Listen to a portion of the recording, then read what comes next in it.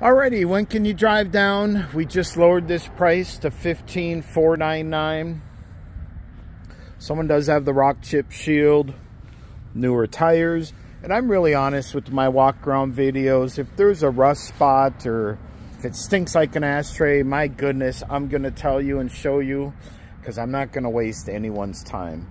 And I've sold to probably 25 states in my nine years here just because I'm honest. I have a 2010 black Denali, just like this at home. We absolutely love our Denali Shorty. It is identical to this. I just have black leather instead of the tan, so this one totally feels at home.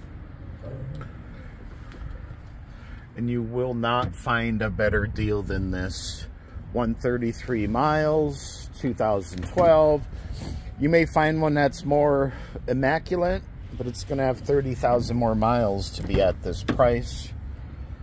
So when's a good time to come see it?